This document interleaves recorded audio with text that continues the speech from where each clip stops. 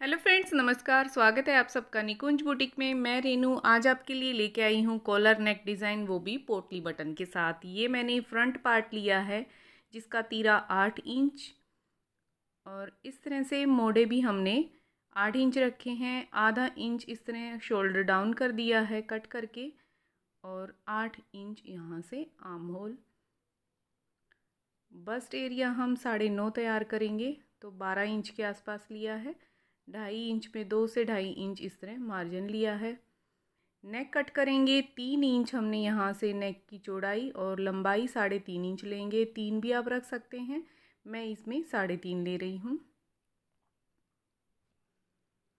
और इसको इस तरह से राउंड मिला देंगे। राउंड शेप देते हुए इसको इस तरह से कंप्लीट कर देंगे। अब इसको कट कर लेते हैं।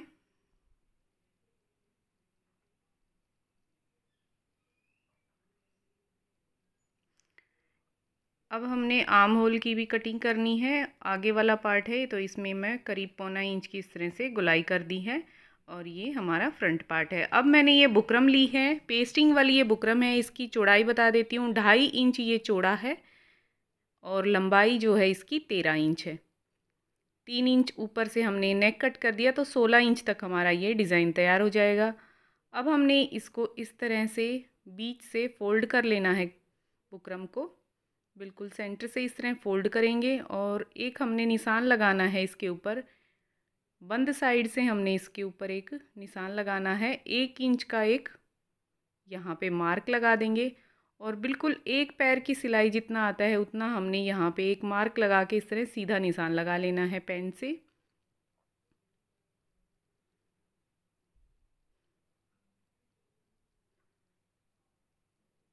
और इस पे हम पिन लगा देते हैं। इसको हमने कट करना है। बिल्कुल एक पैर की जितनी सिलाई होती है, एक सूत जितना हमने इसको इस तरह से कट कर लेना है।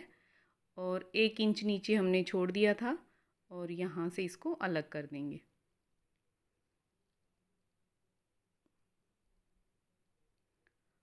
पिन हटा के इसकी शेप चेक करते हैं कि ये अच्छा बना है क्या। बिल्कुल प्रॉपर आया है। अब हमने इसके वो कपड़े के ऊपर पेस्ट कर लेना है और आधा इंच का जो कपड़ा बाहर छोड़ा था उसको फोल्ड करके इस तरह सिल लेंगे।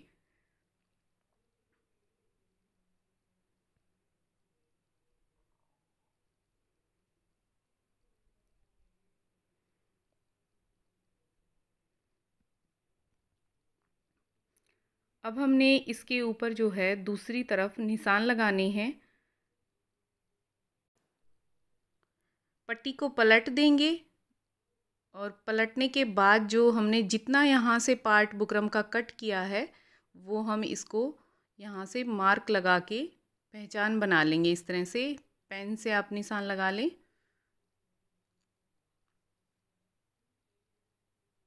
और दूसरी तरफ़ भी इसी तरह से हमने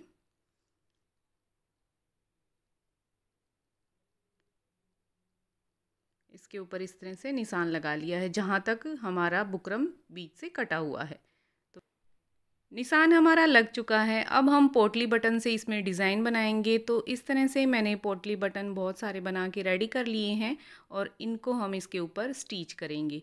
तो हमने पोटली बटन को बिल्कुल एग्जैक्ट ये वाले पॉइंट पे हमने स्टीच करने हैं, जो ये पेन से मैंने निशान लगाए हैं। ये वाला एक सिंगल सिलाई से या डबल सिलाई से इस तरह से इसके ऊपर हमने स्टीच कर लेना है। तो बिल्कुल स्टार्टिंग से नहीं, थोड़ा सा हट के मैंने ये पोटली बटन स्टीच किया है और इस तरह से बिल्कुल प्रॉपर ये जो निशान लगा हुआ है पेन का, उसके ऊपर हमने इसको सिलना है।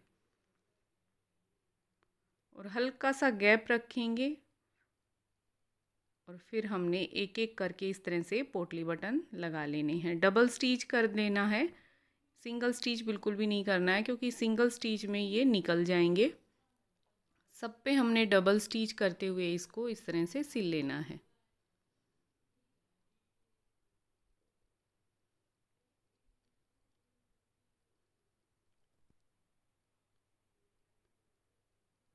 ऊपर से हमने करीब दो से ढाई इंच का जो है, प्लेन रखना है और इतने एरिए को इस तरह से खाली छोड़ते हुए हमने इसको कंप्लीट कर लिया है। अब जो पोटली बटन का एक्स्ट्रा वाला पार्ट है, उसको हम कट कर देंगे। इस तरह से कपड़े को फोल्ड कर देंगे, पट्टी को, नीचे वाली को, और जो एक्स्ट्रा इसमें मार्जिन है, इसको कट कर देंगे।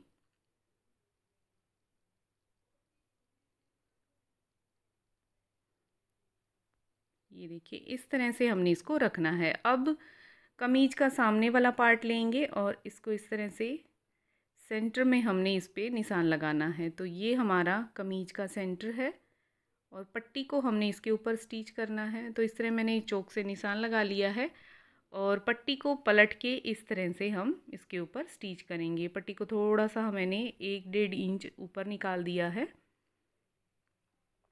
और बिल्कुल किनारे किनारे से बुकरम से हमने इस पर सिलाई लगानी है। बुकरम के ऊपर मेरी सिलाई नहीं आएगी। बिल्कुल किनारे किनारे से हमने इसके ऊपर सिलाई लगानी है और पोटली बटन को नीचे से चेक करते रहना है कि वो सेंटर में स्टिच हो रहे हैं या नहीं। तो एकदम सेंटर में लगाना है और ये पलटे भी ना ये भी ध्यान रखना है और इस तरह से हम दोबारा भी हमने इस तरह से सिलाई लगा लेनी है।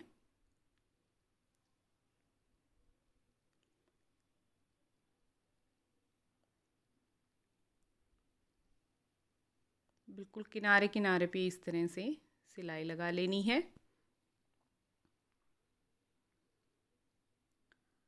अब हमने इसमें सेंटर में एक कट लगाना है, एंड तक। सिलाई नहीं कटनी चाहिए हमारी बिल्कुल भी, बिल्कुल सेंटर में हमने ये कट लगाना है और छोटे छोटे कट इस तरह से लगा देंगे और सिलाई बिल्कुल भी नहीं कटनी चाहिए और फिर हम इसको इस तरह से पलट देंगे और पोटली बटन जो है ऊपर की तरफ़ आ जाएँगे। तो ये देखिए, इस तरह ये डिज़ाइन बन गया है। अब हमने इस पर मोटा बखिया लगा के इस तरह से एक सिलाई भी लगा सकते हैं या इसके नीचे जो है हम पट्टी तैयार करेंगे साथ साथ तब भी हो जाएगा। तो इस तरह चार इंच के करीब पट्टी ली है, ऊपर से इस तरह फोल्ड कर देंगे और इसको इस तरह से इसके नीचे जो है हमने लगाना है। ऊपर से करीब एक इंच के आसपास कपड़ा छोड़ दिया है। गला जहाँ से स्टार्ट हो रहा है, वहाँ से एक इंच का इस तरह सिंगल मैंने इस तरह सिलाई लगा दी और उसके बाद मैंने इसको, पट्टी को अटैच किया है। ताकि जब हम कॉलर लगाएँ तो हल्का सा गैप रहे और इस तरह से पट्टी को आधा इंच करीब यहाँ बाहर रखा है और इसके ऊपर सिल दिया इसके नीचे रख के पट्टी को।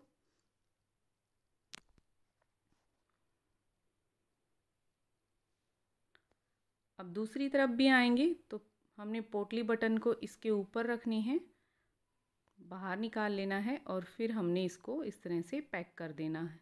तो ये परमानेंट इस तरह से स्टिच हो जाएँगे, यहाँ से ओपन नहीं होगा।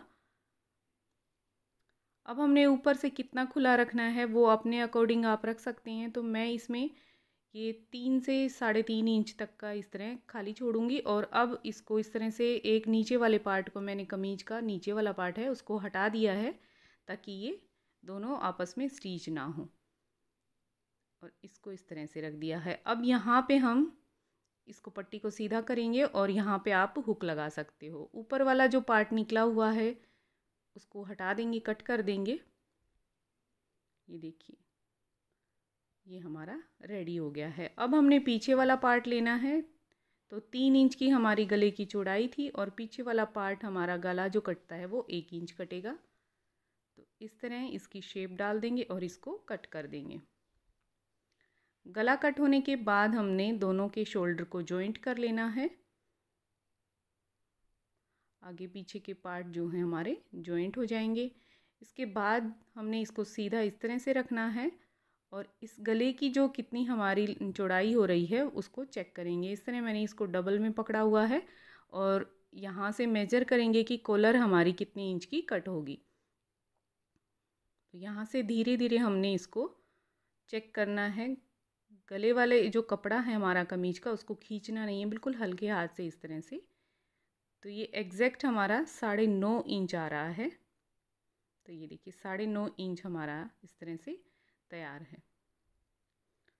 डबल में है, खुल के उन्नीस इंच हो जाएगा तो इस तरह आप सिंगल में भी इस तरह इसको मेजर कर सकते हैं। अगर डबल में नहीं कर पा रहे हैं तो आप इस तरह से भी चेक कर सकते हैं। तो ये हमारा उन्नीस इंच आया है। अब हमने बुकरम कट करनी है तो बुकरम का पार्ट लेंगे। ये पेस्टिंग वाला है, इसकी लंबाई चौड़ाई बता देती हूँ। ये डबल में है, आठ इंच तो खुल के सोलह इंच की पट्टी है और चौड़ाई जो है चार इंच है। अब करीब चार इंच तक एक निशान लगाएँगे और इसके बाद जो है इसकी हल्की सी इस तरह से गुलाई कर देंगे, जैसे हम राउंड नेक बनाते हैं, उस तरह से ये गुलाई कर देंगे। गुलाई करने के बाद हमने इसकी जो है लंबाई चेक करनी है तो साढ़े नौ इंच है ये हमारी। तो इस तरह से साढ़े नौ इंच यहाँ पे आ रहा है। निशान लगा देंगे, क्योंकि ये भी डबल में फ़ोल्ड है हमारे पास। तो हमने जब डबल में फ़ोल्ड करके चेक किया था तो साढ़े नौ था। अब पौना इंच का एक निशान लगाएँगे।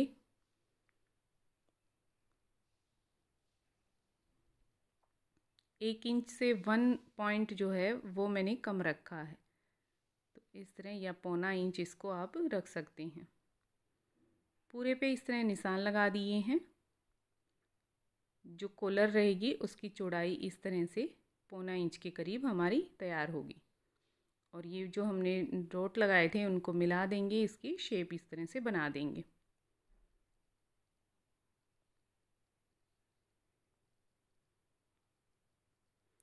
आगे से हमने इस पर राउंड इस तरह से शेप बना देनी है।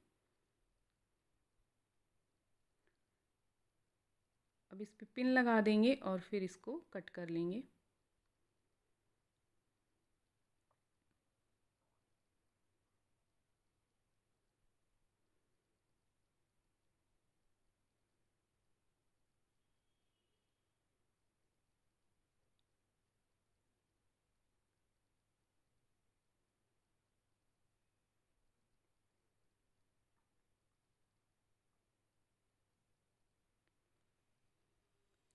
बिल्कुल हल्के हाथ से इस तरह से कट करना है और इसकी राउंड शेप डाल देनी है।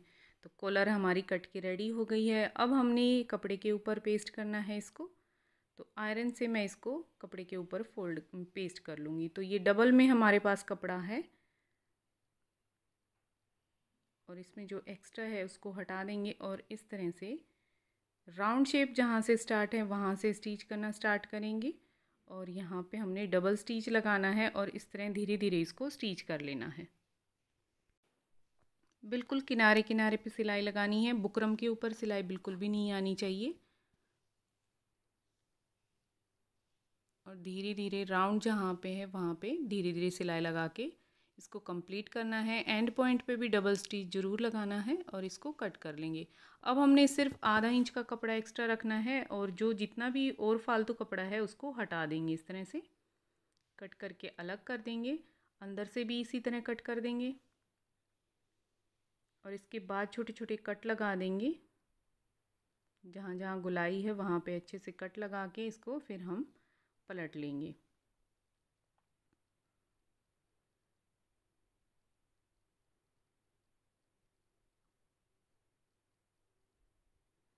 इसको इस तरह से हम पलट लेंगे। तो बहुत ही सुंदर ये हमारी राउंड नेक में कॉलर आएगी। अब हमने इसके ऊपर आयरन कर लेना है। आयरन करने के बाद ये देखिए बिल्कुल परफेक्ट बैठ गई है ये। इस तरह हमने अब कॉलर को कमीज के साथ स्टिच करना है तो ये इस तरह से कमीज लेंगे और कॉलर के जिस पार्ट में हमने बुकरम लगाई है वो वाला पार्ट इस तरह से रखेंगे। कमीज सीधा रखा हुआ है। और उसके ऊपर इस तरह से इसको मैंने बुकरम वाले पार्ट से इस तरह स्टिच करना स्टार्ट कर दिया है। धीरे धीरे बिल्कुल हल्के हाथ से लगाना है। ना ही कॉलर को खींचना है हमने और ना ही कमीज वाले पार्ट को खींचना है। बहुत हल्के हाथ से लगाना है और हाफ़ तक लगा के हमने इसको इस तरह से हटा लेना है। अब दूसरी तरफ़ से लगाएँगे। इससे क्या है, दोनों तरफ़ जो हमारी नेक की जो स्टार्टिंग होती है कॉलर की, वो बहुत ही फिनिशिंग के साथ आती है। तो इस तरह से हाफ़ लगाने के बाद हाफ़ हम दूसरी साइड से स्टार्ट करेंगे।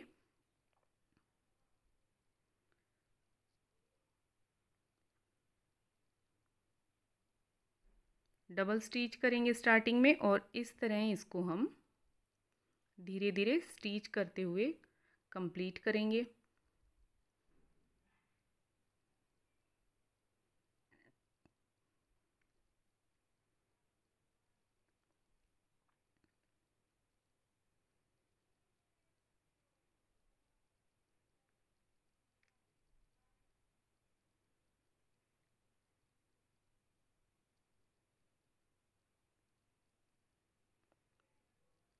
इस तरह से ये दोनों तरफ़ से लग के तैयार होगी है।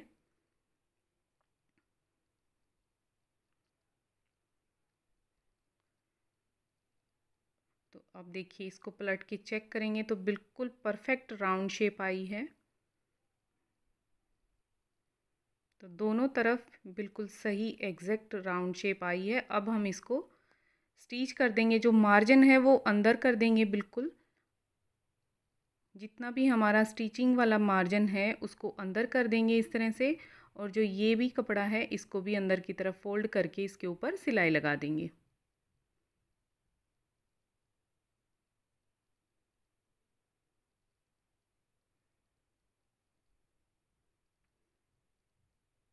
स्टार्टिंग में डबल करेंगे सिलाई, और फिर इसको हमने धीरे धीरे इस तरह से अंदर की तरफ़ कपड़े को फोल्ड करके बिल्कुल उसी सिलाई के ऊपर सिलाई लगानी है, जो सिलाई हमने शुरू में लगाई थी, इसको जॉइंट किया था, बिल्कुल एग्जैक्ट उसी सिलाई के ऊपर इस तरह से सिलाई आनी चाहिए। आप चाहें तो इसको इस तरह अंदर की तरफ़ फोल्ड करके हाथ से भी तुरपाई कर सकते हैं बट अगर मशीन से आप इस तरह सिलाई करते हैं तो थोड़ा परमानेंट हो जाता है और सिलाई निकलने का भी डर नहीं रहता। और जो सिलाई लगी हुई है ऑलरेडी उसी के ऊपर इस तरह लगाएँगे तो दो सिलाइयाँ भी नहीं दिखेंगी। तो हल्का सा अगर चुनट आती है तो जॉइंट पे आप इस तरह से चुनट दे सकते हैं, क्योंकि ये थोड़ा सा राउंड वाला कपड़ा है तो हल्का सा इसमें खिंचाव आते आता है तो एक्स्ट्रा हो जाता है। तो वो सिर्फ़ आप जॉइंट पे ही कर सकते हैं शोल्डर वाला जहाँ पे जॉइंट आता है, वहीं पे आप छोटी सी चुनट कर सकते हैं अदरवाइज़ नहीं। और बहुत ही धीरे धीरे हमने इसको बिल्कुल भी खींचना नहीं है। और जहाँ पे कपड़े की जो जगह है, वहीं पे इसको इस तरह से फोल्ड करते हुए धीरे धीरे स्टिच करें। तो बिल्कुल एंड पॉइंट पे अगर एक्स्ट्रा हो रहा हो कपड़ा तो बिल्कुल थोड़ा सा उसको अंदर की तरफ़ कपड़े को पुश कर दें, या कोई नुकीली चीज़ से भी आपको इस तरह से अंदर कर देना है इसको, कपड़े को, और बिल्कुल सिलाई को बाहर नहीं निकालना है तो ये देखिए। बिल्कुल परफेक्ट राउंड शेप आई है कॉलर की। तो इसकी फाइनल जो लुक होगी वो कुछ इस तरह से आएगी तो ये देखिए।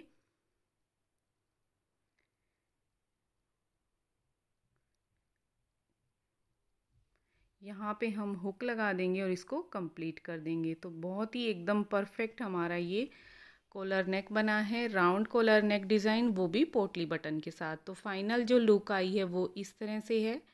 इस पर हेमिंग कर दिया है, तुरपाई हो गई है और मैंने बाजू पे भी इस तरह से पाइपिंग लगाई है। और जो एरिया ढाई से तीन इंच के आसपास हमने खुला रखा था, वहाँ पे इस तरह से ये दो हुक और आई बना दिए हैं। पहनने में बहुत ही ईजी रहेगा और दिखने में ये बहुत ही डिसेंट हमारा नेक डिज़ाइन बन के तैयार हुआ है। तो आपको डिज़ाइन कैसा लगा कमेंट करके ज़रूर बताना। आप मेरे चैनल को पहली बार देख रहे हैं तो प्लीज़ चैनल को सब्सक्राइब करना और बेल आइकन को प्रेस कर लेना ताकि जब भी मैं वीडियो डालूं तो उसका नोटिफि नोटिफिकेशन आपके पास तुरंत पहुँचे। देखने के लिए आप सभी का बहुत बहुत धन्यवाद। मिलते हैं किसी और इंटरेस्टिंग वीडियो के साथ। तब तक के लिए बाय बाय